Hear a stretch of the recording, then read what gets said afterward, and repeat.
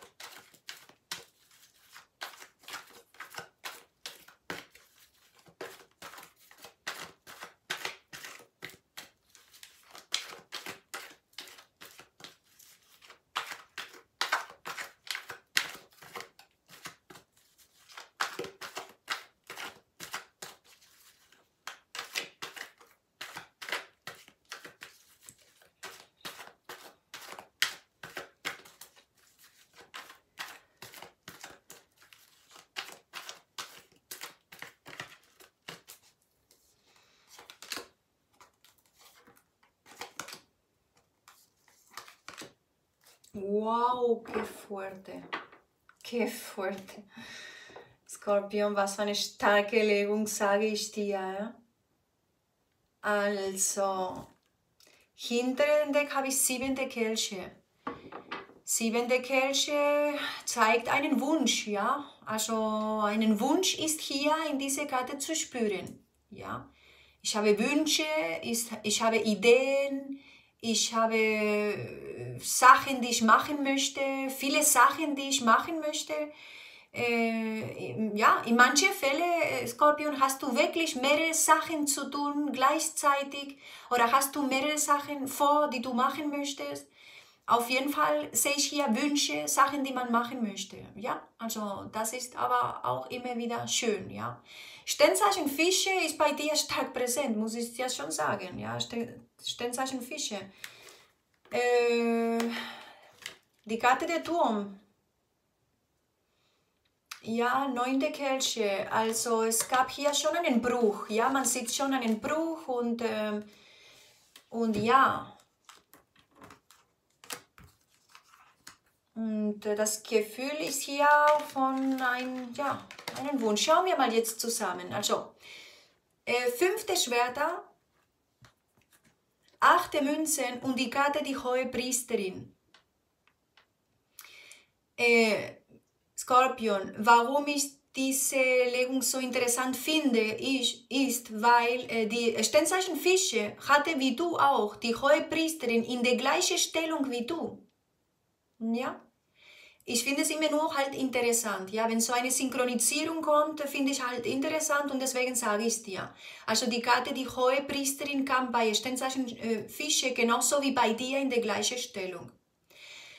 Auf jeden Fall sehe ich hier viel Arbeit bei dir, äh, Skorpion. Viel Arbeit. Ich sehe hier eine Person, die sehr viel arbeitet, sehr viel vorhat, äh, am Lernen ist. Und das kann natürlich für deine Energie reden, Skorpion, dass du gerade, wie gesagt, viel zu tun hast, viele Sachen hast gleichzeitig, viele, viel Illusion hast für eine bestimmte Sache, was du gerade arbeitest oder am Lernen bist. Vielleicht bist du in einem Studium, einem neuen Studium oder du lernst was Neues. Du hast was Neues angefangen und es kann mit einem Projekt zu tun haben. Es kann mit, nochmals, einem bestimmten Studium, eine Weiterbildung, eine Ausbildung oder einfach, weil du dir neue Bücher gekauft hast und äh, du am, viel am Lesen bist und du bildest dich einfach weiter. Das ist, was ich hier spüre. Entschuldigung, also irgendwie habe ich diesen gleichen Gespräch bei Sternzeichen Fische auch gehabt. Und du, du siehst ja, also acht der der Münzen zeigt ja eine Person, die sehr diszipliniert ist. Ja, das ist eine, Entschuldigung, Skorpion, ich kann nicht reden. Interessant. Also auf jeden Fall, das ist deine Energie, Skorpion. Du bist sehr diszipliniert momentan. Das, was du gerade machst, machst du mit sehr viel Disziplin, sehr konzentriert. Du arbeitest auch sehr viel dran an das, was dich interessiert. Mein Gefühl ist tatsächlich, dass du ähm, sehr privat jetzt für dich bist, wenig Kommunikation oder wenig Kontakt mit anderen hast, dass du dich fast äh, wie ein Eremit dich äh, eingesperrt hast und äh, dich um dich kümmerst und dich konzentrierst und das, was dich interessiert. Äh, wenn das jetzt ein neues Projekt ist oder mit Arbeit zu tun hat, du kümmerst dich viel. Oder wenn das, äh, nochmals, wenn du äh, viel am Lesen bist oder was Neues angefangen. Also die Sache ist, dass man hier ziemlich diszipliniert, konzentriert arbeitet und sehr gut aussieht. Das muss ich dir schon sagen. Ja, du, du gibst den Rücken, also ich spüre hier, du gibst sogar deine sogenannten äh, Freunden den Rücken, ja. Also du gibst natürlich den Rücken Menschen, die einfach nur neidig sind, eifersüchtig sind. Wenn du spürst, eine Person zeigt irgendwie dieses Gefühl von neidig zu sein, eifersüchtig zu sein oder mehrere Menschen, die zusammen über dich reden, schlecht reden, irgendwie spürst du Menschen, die vielleicht dich auf einen anderen Weg bringen wollen, aber du, das interessiert dich gar nicht. Du gibst einfach den Rücken. Du lässt den Menschen weiter reden, du lässt den Menschen weiter von dir aus Konflikten machen, eifersüchtig sein. Äh, du, du, ja, du lässt dich gar nicht da beeinflussen. Denn am Ende, wie ist das immer, wie sagt man immer so schön, äh, Skorpion, äh, wenn Menschen reden, äh, das ist nicht dein Problem, ja. Das ist äh, das Problem von den, diesen Menschen, die reden, ja. Genau. Und wenn andere Menschen glauben, das, was von dir gesagt wird, das ist auch wieder nicht dein Problem. Das ist das Problem von diesen Menschen, die glauben, was von dir erzählt wird. Also von da aus, äh, wir lassen uns natürlich nicht äh, kontrollieren über irgendwie welche manche äh, Sachen, die gesagt werden. Oder die Tatsache hier ist, Skorpion, ich spüre bei dir viel Weisheit. Äh, ich habe hier wirklich mit einer Person zu tun, die sehr viel, sehr viel Weise hat, sehr reif ist, sehr viel Erfolg zeigt, auch in dem, was er oder was sie macht. Ja? Sehr viel Kreativität zeigt.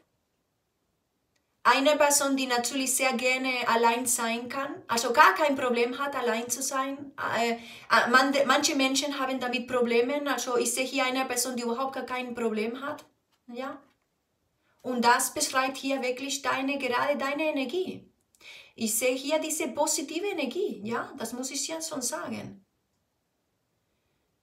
Äh, kennst du vielleicht durch deine Arbeit eine neue Person? Oder ist das für dich, äh, also bist du gerade mit einer bestimmten Situation beschäftigt, worüber du mit niemandem sprichst? Also es gibt hier einen gewissen Geheimnis oder äh, gar keine Kommunikation mit den anderen. Ja, also ich, äh, ich ziehe mich zurück ich rede mit niemand wo, wo, über das, was ich machen möchte, über das, was ich neu anfangen will. Ich möchte ein neues Projekt, eine neue Arbeit anfangen.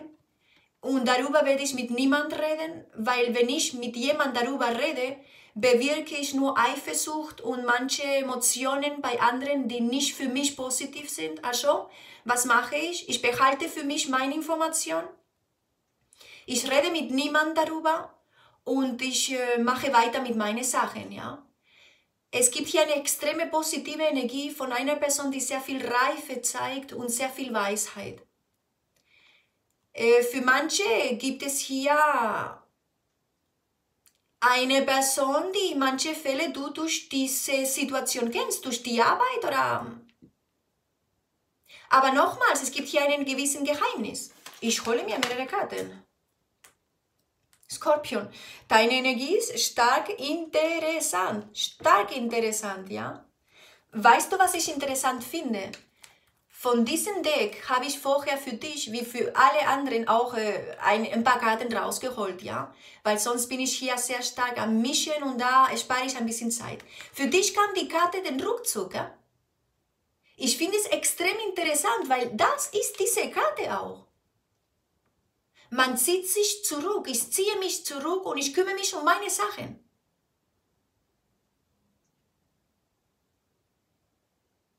interessant, äh? interessant, interessant. Warum? Weil, schau mal die anderen Karten, die gekommen sind. Übrigens, ich habe es nämlich vergessen bei einem bestimmten Sternzeichen. Das war Schütze, glaube ich. Ich habe es vergessen, ja. Äh, die zu zeigen, weil ich habe die natürlich da auf dem Tisch gehabt. Aber auf jeden Fall ist die Karte die, die Co-Abhängigkeit, Co-Abhängigkeit, wahre Liebe, unerwiderte Liebe. Ich denke, man hat sich ja, in manchen Fällen hat man sich hier getäuscht, man dachte, eine bestimmte Situation würde über eine wahre Liebe reden, aber am Ende hat sich was anderes ergeben. Ich empfinde, es, können, es kann möglich sein, dass man hier eine Täuschung oder so eine Situation gab von äh, wahre Liebe und in Wirklichkeit gar nicht, gar nicht so eine wahre Liebe war. Also hier gibt es einen Rückzug. Ich hole mir mehrere Karten. Äh, zweite Stäbe.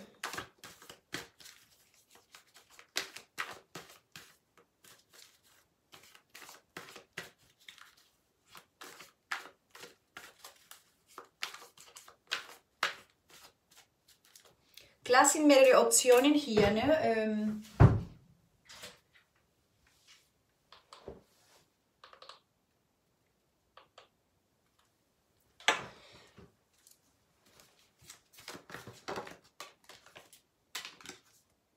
Wow. Der König der Schwerter auf dem Kopf, ja? Skorpion.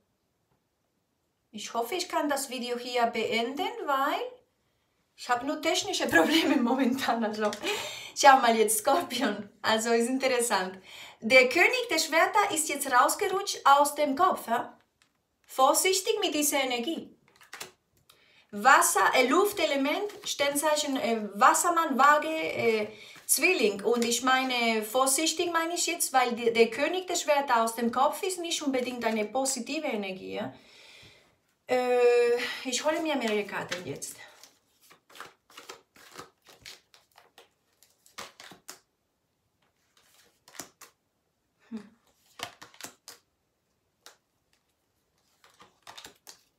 Wow, qué fuerte. Das gibt's nicht, oder? Wow, wow, Skorpion, was für eine Legung, gell? Aste Schwerter. Aste Schwerter deutet auch auf Kommunikation, ne? Also Aste Schwerter ist eine wichtige Energie. Äh, auf jeden Fall sehe ich hier Kommunikation, aber die Sache ist, äh, der König der Schwerter aus dem Kopf und der Aste Schwerter man merkt, man macht hier, man setzt Grenze mit manchen Menschen. Menschen, die nicht ehrlich sind. Eh? Und ich meine, was soll ich dir hier sagen? Ich habe auch fünfte Schwerter. Fünfte Schwerter und der König der Schwerter aus dem Kopf ist keine positive Energie mit manchen Menschen, mit denen du zu tun hast. Und du wirst äh, natürlich sehr gut wissen, mit welchen Menschen du zu tun hast. Aber es gibt hier ähm, kein, keine ehrliche Energie. Ich denke, eine Wahrheit kommt ans Licht. Ja? Achtung hier. Du wirst dich über eine bestimmte Sache informieren. Also du wirst was erfahren. Du wirst was erfahren. Eine Wahrheit kommt ans Licht. Ja? Interessant. Und auf jeden Fall einen Schluss. Schau mal, deine Legung ist stark interessant, Skorpion. Schau mal hier, in der Mitte fünfte Kelche. Eine Person ähm, vermisst hier jemand. Also es gibt hier das Gefühl von, ich vermisse eine Person, ich denke sehr viel an eine Person. Äh, die Gefühle sind ja da, die Vergangenheit ist da und diese Situation zeigt sich hier, Skorpion. Ja? Also äh, das ist das, was wir in der Mitte haben, eine fünfte Kelche. Ja, schau mal bitte jetzt hier. Zweite Stäbe, fünfte Kelche und äh, siebente Münzen. Ich denke, eine Person ist sehr stark am Nachdenken.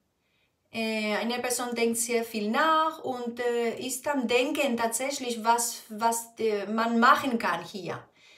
Denn man spürt, äh, man hat viel Geduld jetzt hier gehabt. In, mit einer bestimmten Situation hat man hier viel Geduld gehabt, Viel Zeit ist vergangen, in manchen Fällen, viel Zeit ist vergangen. Und, ähm, aber eine Person vergisst nicht, eine Person kann nicht vergessen, eine Person ist traurig und dieses Gefühl von Nostalgie und äh, von Traurigkeit ist hier schon zu spüren. Äh, in manchen Fällen gibt es hier eine geografische Distanz, muss nicht sein, aber es könnte möglich sein. Ja? Äh, dass eine Person hier wirklich sehr viel am, am Nachdenken ist äh, über das, was geschehen ist und ähm, ja. Schau mal, was ich hier habe, weil das ist nicht normal. Schau mal bitte jetzt hier. Die hohe Priesterin, fünf der Kelche und die hohe Priesterin Also, Skorpion, hier ist eine starke Sache. Also Sternzeichen Skorpion wie du, Sternzeichen äh, Fische oder sogar Krebs ist auf dem Tisch stark präsent. Wasserelement stark präsent bei dir. Überhaupt Sternzeichen Fische, Sternzeichen Krebs, Sternzeichen Skorpion wie du auf jeden Fall auch äh, es gibt hier ein Geheimnis oder eine Situation, worüber du mit niemandem gesprochen hast. Es gibt hier ähm,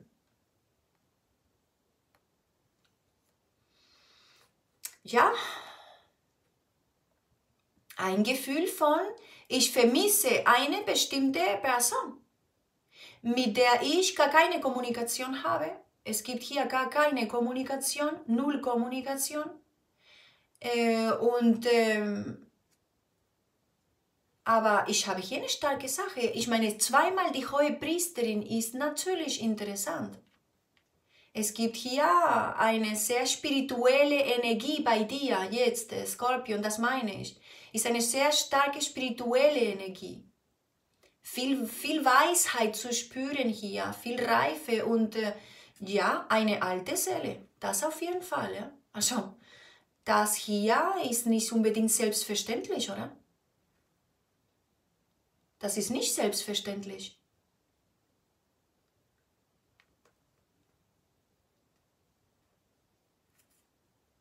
Also, ich habe das den Fall noch nie gehabt. Es gibt hier viel Weisheit zu spüren in deiner Legung, viel Weisheit. Ich habe hier nicht irgendeine, äh, irgendeine Person. Es ist eine Sache, die wirklich äh, ja, stark interessant ist. Ich meine, in manchen Fällen ist hier die Arbeit, es gibt hier eine Verbindung durch die Arbeit bei dir mit, äh, mit dieser Person. Ich meine,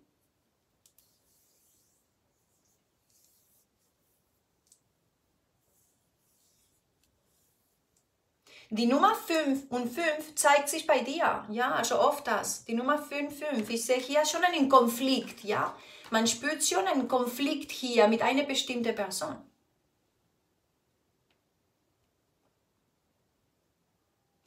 Schau mal bitte, die hohe Priesterin, die Gatte der Narr und eine Königin der Kelche. Du merkst ja, also dieses Wasserelement ist sehr präsent bei dir. Und ja, Sternzeichen Fische sehr präsent bei dir. Es gibt hier eine Person, ähm, die eine, eine, ja, also die Energie zeigt sich wie eine gute Person, eine liebe Person. Ja, eine Person, die in dem Fall hier sehe ich eine Person, die sich auch sehr frei fühlt, frei ist. Ja, also eine Person, die allein ist, keinen Kompromiss hat, für, in manchen Fällen sogar gar keinen Kompromiss möchte. Eine Person, die diese Freiheit genießt und ähm, ja, also und einen neuen Zyklus anfängt. Diese Person, die ich hier habe, hat natürlich schon eine starke, komplizierte Zeit hinter sich, natürlich. Wir reden über eine Person, die jetzt neu anfängt äh, neu anfängt. Aber diese Person ist schon, äh, hat schon mehrere Leben hinter sich. Ich habe hier eine starke, reife Energie. Das muss ich dir wirklich sagen.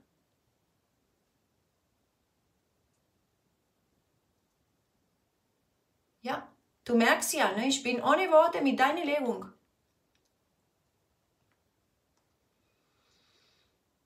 Mhm. Skorpion, dass das sogar deine Energie auch sein könnte, natürlich. Also ich meine, ich habe hier nochmals, wie ich dir gesagt habe, mit einer sehr reife Energie zu tun. Viel Spiritualität hier zu spüren bei dir, viel Erfahrung im Leben. Äh, ja, eine Person, die, die sich weiterbildet, die viel mehr Informationen, also eine Person, die neugierig ist, ja, für das Leben, für was Neues einen neuen Zyklus im Leben jetzt anfängt, natürlich ist das perfekt auch deine Energie. Ja, aber du merkst ja, hier habe ich mit dieser Königin der Kelche, also ähm, ist schon eine starke Energie bei dir. Und ja, Wasserelement, Wasserelement, also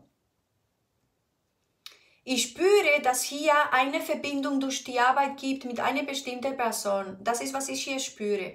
Aber gewisse Geheimnisse könnte man hier sehen. Ja, aus irgendeinem Grund. Aber gewisse Geheimnisse könnte man hier sehen. Entweder weil die Person sich einfach äh, zurückzieht, weil eine Person hier überhaupt gar keine Kommunikation hat, also keine ähm, von sich nicht äh, wissen oder hören lässt, eine Person, die sehr privat für sich ist.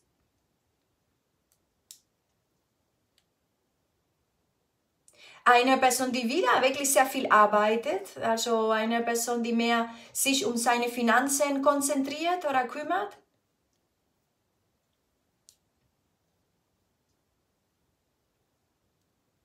Das ist, was ich hier sehe, äh, Skorpion. Ich meine, deine Energie ist interessant, Minimum interessant, ja? weil zweimal die hohe Priesterin in dieser Reihe, ich meine, ist eine sehr starke spirituelle Energie, was wir hier haben.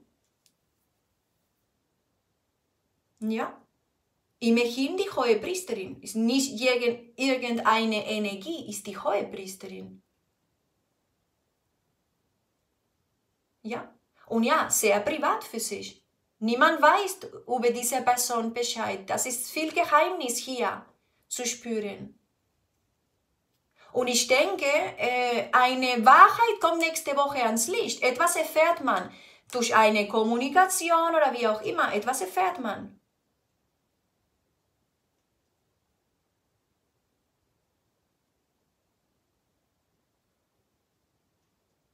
Skorpion, in manchen Fällen habe ich hier fast mit einer Hexe zu tun. Ne? Warum sage ich das? Wegen dieser starken Intuition, was ich hier spüre. Ich habe hier eine starke Intuition zu spüren, ja?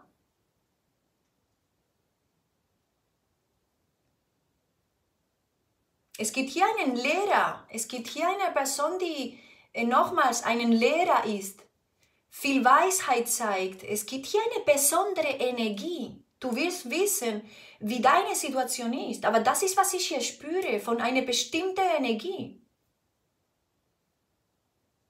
Und ja, fünfte Kelche, also jemand leidet schon hier. Eine Person vermisst sehr stark, leidet hier, hat Erinnerungen, die Erinnerungen sind da, die Nostalgie ist da. Eine Person bereut eine bestimmte Sache hier. Ich meine, das ist, was ich hier spüre.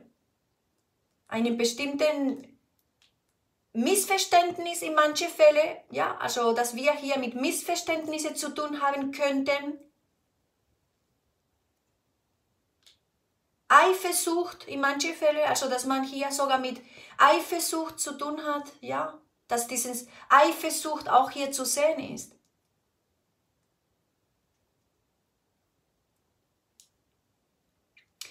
Die Gefühle sind bei dir zu sehen, Skorpion. Also fünfte Geld in der Mitte, also man spürt hier, die Gefühle sind da. Ähm, ja, und äh, man, man spürt dieses Gefühl von, ich bereue es, ich, äh, ja, ich bereue es halt. Ja, ich denke sehr viel nach und ähm, ich habe mir viel Zeit genommen für eine bestimmte Situation, habe ich mir viel Zeit genommen und, ähm, und äh, das Gefühl ist hier. Also eine Person hat sich mehr um die Arbeit gekümmert und, ähm, und wenig Zeit für die Liebe, auf jeden Fall. Also ich sehe hier eine Person, äh, die sich mehr, viel mehr Zeit für die Arbeit genommen hat als für die Liebe.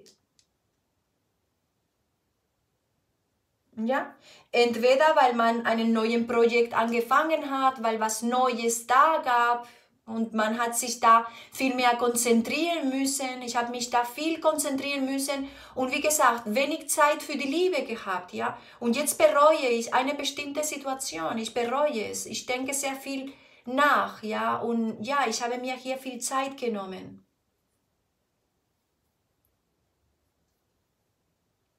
Es gibt hier einen Traum, ja, es gibt hier einen Traum, einen Wunsch. Eine Illusion hat man hier.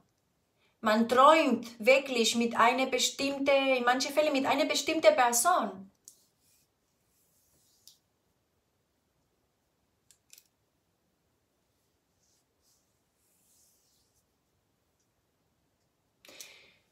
Skorpion, es ist ja klar, dass nur du weißt, was das hier für dich alles heißt. Ja?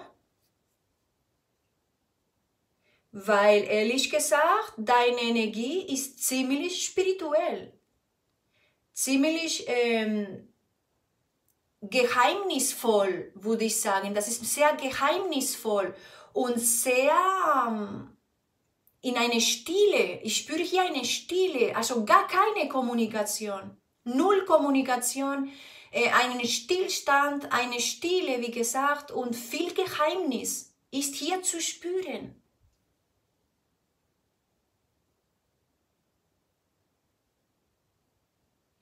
Dass die negativ ist. Nein, eigentlich nicht.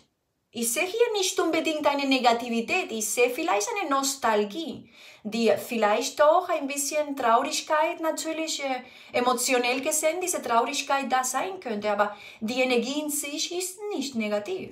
Ich spüre hier bei dir viel Erfolg in dem, was du lernst, in dem, was du jetzt anfängst, äh, finanziell gesehen viel Reichhaltigkeit, viel äh, Erfolg, wie gesagt, viel Weisheit. Man merkt, hier sind gute Vorzeichen. Ja, das merkt man bei dir.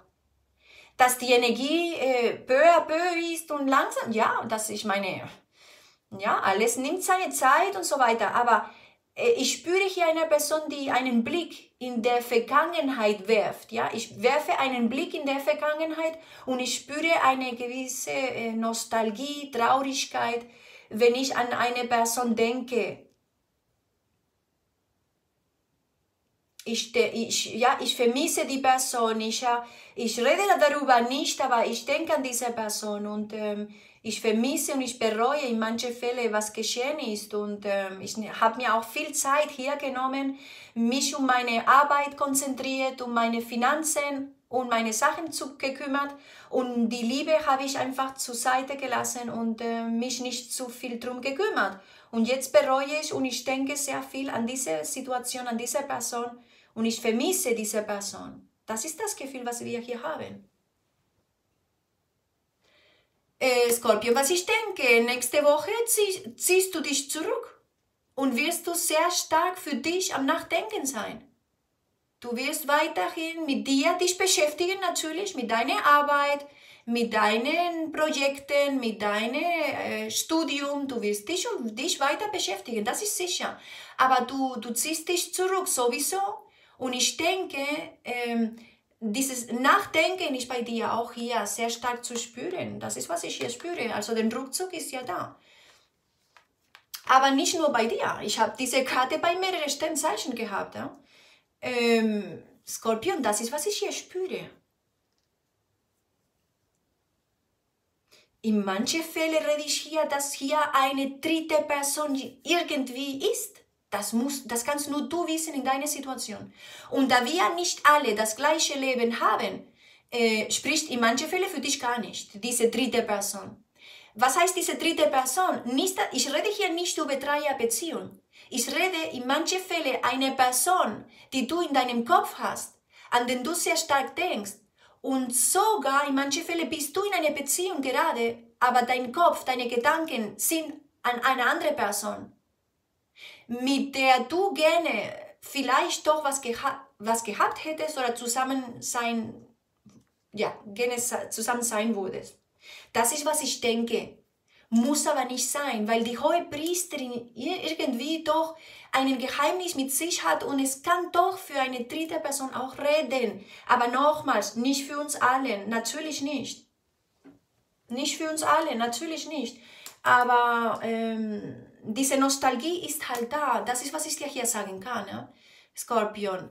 Auf jeden Fall, ich danke dir für deine Likes, für deine Abos. Dankeschön und ähm, ein schönes Wochenende, Skorpion. Danke, tschüss.